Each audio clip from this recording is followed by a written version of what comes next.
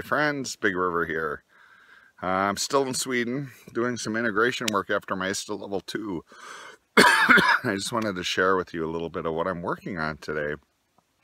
Experience that really hit me to my deepest, deepest core.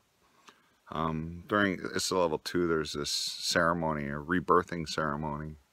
I won't share the details of the ceremony, but more like my story around it.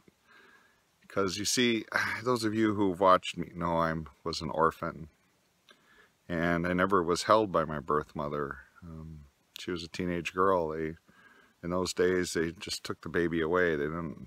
They thought it was unhealthy for the like a mother-child bond when they give it up for adoption.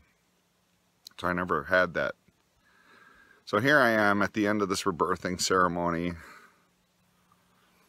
and this goddess is holding me as if I'm her child and just held me in her breasts and I'm looking up at her uh, big beautiful blue Viking eyes with all the love and compassion that she has as this this divine mother just welcoming me in and it it hit me so hard.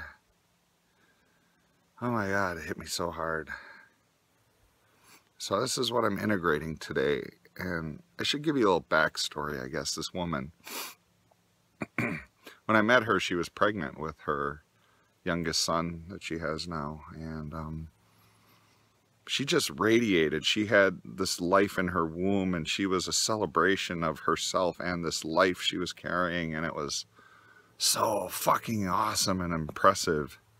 I just couldn't help but fall in love with this woman. Just like, wow, just wow, wow and over the years I've been, you know, we've been friends and I've been like watching her and, and actually last, last year when her son was hospitalized, I was with her in the hospital and I saw mother in the worst of times and that love and compassion.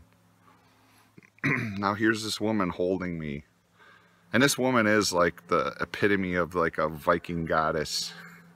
She's strong and won't take shit and will tell you exactly what she thinks. And then she just flows with the divine feminine and like just radiates this sexual confidence and just like just just wow wow. And here is this beautiful goddess holding me welcoming me into this new life. In a way I've never really been held before. You know I've held you know lovers and I've held intimately but even even but I've never was held at birth like that and here I was being held by this woman who's the epitome of like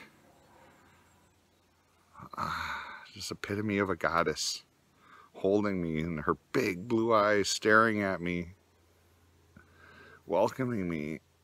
And that's gonna be something that I'm gonna I'm gonna take that.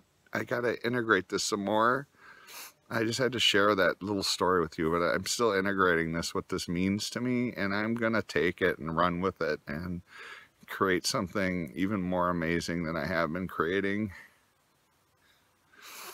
And just so, these are tears of joy.